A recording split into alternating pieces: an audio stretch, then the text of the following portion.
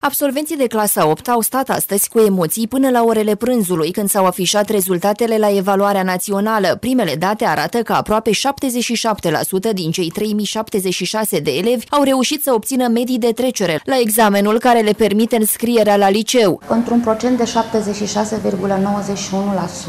promovabilitate pe județ, spun că ne putem bucura de acest rezultat.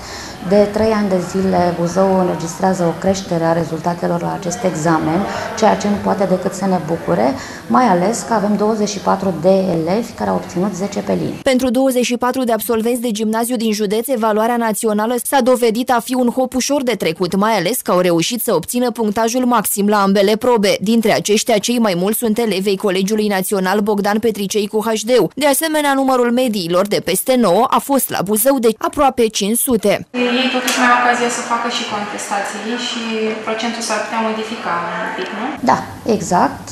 Uh, însă sunt convinsă că nu foarte mult de această medie, ceea ce nu poate decât să ne bucure.